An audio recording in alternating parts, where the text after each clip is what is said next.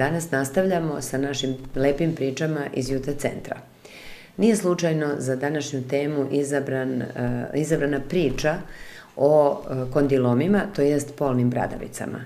To je zbog toga što je u protekloj godini u ovoj jednoj, da kažem, maloj ordinaciji prošlo dosta pacijenata sa polnim bradavicama, što mlađeg sveta, što sredovečnog, a mogu da zamislim koliko ih prođe kroz bolnicu ili dispanzer. E, to je jedna ozbiljna stvar, ozbiljna bolest, e, zato što je tako učestala i zato što e, polne bradavice izaziva humani papiloma virus. Možda ste i pratili do sada, na TV-u je dosta priče bilo, doktori su govorili i vrlo često se spominje vakcina protiv tog virusa, zato što e, pojedini sojevi tog virusa su kancerogeni, a to znači da mogu da izazovu rak, rak grlića materice najčešće, pa postoji i preporuka da se to uvede čak i u neku, e, neki ozbiljni kalendar i obavezni kalendar vakcinacija kod devojčica. E, mislim da još e, tu nije rešeno zakonski da li će i kako će biti, ali u svakom slučaju zaslužuje našu pažnju. Dakle, humani papiloma virusi, kojih ima preko stotinu sojeva, e, nisu svi kancerogeni, na svu sreću, na našu sreću, postoji svega nekoliko tipova koji su kancerogeni, to su neki tipovi 16, 18, 31, 33 i možda još par tih tipova, ali šta je za nas bitno? Mi ne znamo koji e, tip virusa se nalazi u našem telu ako imamo kondilome, ili tako? Dakle, mi nismo sigurni da li je taj kancerogen ili nije. Postoji jedna metoda, zove se PCR, koja iz brisa sa promene može da ukaže na to koji tip virusa je u pitanju. To se radi u svim bolje opremljenim laboratorijama. Kako izgleda klinička slika? To je bolest, kad se kaže polna bolest, polno je prenosiva, naravno, koja e, podjednako e, postoji i u muškoj i u ženskoj populaciji.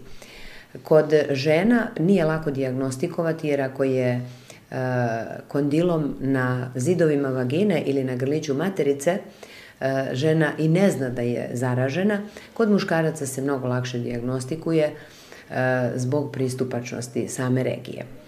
E, šta je tu još bitno? Ukoliko se posumnja da postoji kod žena kondilom, onda se zidovi vagine premazuju lugolovim rastvorom, a sam grlić materice i spoljašnji deo genitalija premazuju se petopostotnim rastvorom sirćetne kiseline. Na taj način e, kondilomi menjaju svoju boju u, okol, u odnosu na okolno zdravo tkivo. Kod, kad se premažu sirćetnom kiselinom, oni baš dobro pobele, promene svoj izgled i lako se diagnostikuju. Kod muškaraca diagnostika je laka kada može da se pogreši. Kada pacijent sam pomisli da ima kondilome, e, ili čak i kad ode kod doktora u nekoj početnoj fazi pojave kondiloma, e, može se takođe napraviti greška kada se ispod glansa penisa kod muškaraca e, one male lojne žlezdice sićušne koje se nalaze tu i kad postoji pojačano lučenje iz tih žlezdica, onda one postaju za nijansu veće nego što su bile pre toga e, i deluju onako kao sićušne resice, pacijent pomisli da ima kondilome, nekada ta, takva klinička slika može da zavara i doktora. I da ne bi bilo dileme, premazivanjem sa petopostotnom sirćetnom kiselinom jasno se razdvaja obolelo od zdravog tkiva. Kondilomi su inače bledo ružičasti ili u boji kože, počinju kao mala ispupčenja tkiva koja su tvrda. Nekad pacijent pomisli da ima e, bubuljicu, bilo je pokušaja da se ta e, navodno bubuljica iscedi, pa onda dođe do još bržeg rasejavanja virusa. E, smatram da je svako ko ima kondilome u jednoj moralnoj obavezi, i to stalno, stalno napominjem svojim pacijentima, da, je, da ima moralnu obavezu da obavesti osobu sa kojom je imao polni kontakt, E, da ima kondilome. Zašto? Zato što kod žena, kao što sam rekla, kondilomi nekad mogu da budu unutrašnji, da se ne vide s polja i da ih žena godinama nosi na grliću materice i da dobije, ne daj Bože, rak grlića materice koji će platiti svojim zdravljem ili životom, a da zaista nije svesna i ne zna da ima kondilome. Dakle, E, to je jedna moralna obaveza svakoga ko dobije kondilome da se svom partneru ili partnerki javi i da kaže u čemu je problem, jer tu se moraju oba partnera lečiti. Inače pravilo je da se kod polnih bolesti oba partnera moraju lečiti. Gde često nailazimo na problem? Problem su recidivi, to znači e, reinfekcija. Zašto se to javlja? E, sada postoji moda brijanja genitalija tih spoljašnjih genitalija i kod muškaraca i kod žena. Brijanjem se strahovito raznose virusi ili uklanjanjem malja na bilo koji drugi način. Da li je brijanje, da li je depilacija, da li je depil krema, sasvim je sve jedno, ali na taj način se uvek vraćaju infekcije. Ono što stalno molim pacijente, ja im skrenem pažnju na to i bukvalno ih molim da to ne čine. E, mlađe osobe redko prihvataju taj savjet i molbu, ali kad se vrate po drugi ili po treći put za uklanjanje kondiloma, onda shvate da je doktor u pravu i tek tada se odluče da poslušaju savjet. Šta bi bila preventiva? Većina ljudi misli da upotreba kondoma predstavlja jednu stopostotnu zaštitu. To apsolutno nije tačno. Ne možemo se uzdati u taj deo. Dakle, preventiva bi bila e, ne stupati u intimne odnose sa nepoznatim ljudima, odnosno sa ljudima koje, koje malo poznajemo. E, dakle, ne menjati partnere, isključiti promiskuitet, e, pokušati izgraditi jednu lepu vezu e, sa prethodnim upoznavanjem sa partnerom, sa e, jednom vrstom emocija ajde da ne kažem ljubavi, ako postoji zaljubljenost, postoji šanse da se razvije ljubav, ali ne žuriti i ne menjati partnere. To bi bila naj, naj, najbolja preventiva. Uh, ukoliko uh, čak postoji neka situacija, naravno, ovaj, gde bi to bilo malo ishitreno, uh, nije loše uraditi neke prethodne, prethodne testove i analize, ne samo na ovu bolest, na kondilome, nego i na neke druge još mnogo opasnije polne bolesti. U današnje vreme čak smatram to neophodnim. Kako god se to nekom činilo, ali mi uvek na prvo mestu moramo staviti svoje zdravlje, pa tek onda nešto drugo.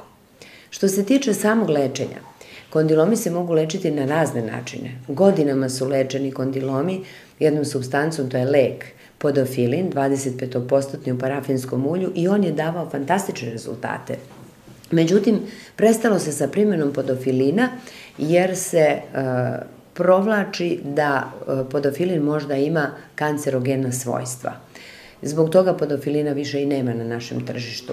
Ono što se sada koristi u lečenju e, kondiloma To su tablete e, lekovima koji ubijaju viruse. Međutim, to bi značilo piti enormnu količinu tih lekova koji su po pravilu hepatotoksični ili se izlučuju preko bubrega pa oštećuju bubrege. E, tako da ipak e, lokalna terapija je terapija broj 1. Samo u slučaju gde ima recidiva tih reinfekcija e, treba primeniti i e, lek u vidu tableta. A što se tiče lokalne terapije, Koristi se još uvek terapija tečnim azotom, to je takozvano tuširanje, kada se tečni azot nanosi ciljano samo na kondilome, a ne na okolnu zdravu kožu i to se radi dva puta nedeljno. E, šta se još može primeniti? E, uklanjanje kondiloma kauterom ili radiotalasima ili laserom, to je u principu vrlo sličan način uklanjanja. E, samo treba napomenuti da uklanje radiotalasima i kauterom odjednom uklanja kondilome. Znači, ne mora se čekati da oni nestanu kroz nekoliko dana, tu se odjednom kondilomi uklanjaju, daje se pacijentu u kući, e, u kućnim uslovima da koristi e, masti lokalno, kao što je recimo aciklovir ili izoprinozin, da koristi te masti za lokalno produženu terapiju da ne bi došlo do recidiva i ono što moram još jednom da napomenem, nikako sa te regije ne uklanjati dlake. Šta je još bitno reći? Ako majka koja je trudnica ima kondilome, treba očekivati, pošto beba prolazi kroz porođajni kanal, treba očekivati da se i kod bebe prenese infekcija. U tom slučaju, ako su, ima mnogo kondiloma i ako su u porođenom kanalu kondilomi, ginekolozi se vrlo često odlučuju da urade i carski rez. Dakle, borba protiv kondiloma nije jednostavna, e, treba biti uporan, treba na vreme svaki izraštaj koji se pojavi e, otići kod lekara i gde se ide. Pacijenti često pitaju da li se ovo leči kod vas. Da, e, mi dermatovenerolozi lečimo kožu i lečimo neke polne bolesti. A ovaj, gde se još pacijenti mogu javiti kod urologa muškarci, žene kod ginekologa. To su te tri e, specijalnosti koje se bave ovom problematikom. Znači, svaku promenu koju zapazite na polnoj regiji treba doktor da pogleda, da diagnostikuje i da predloži adekvatno lečenje, a na pacijentima je da poslušaju savet e, šta raditi posle toga.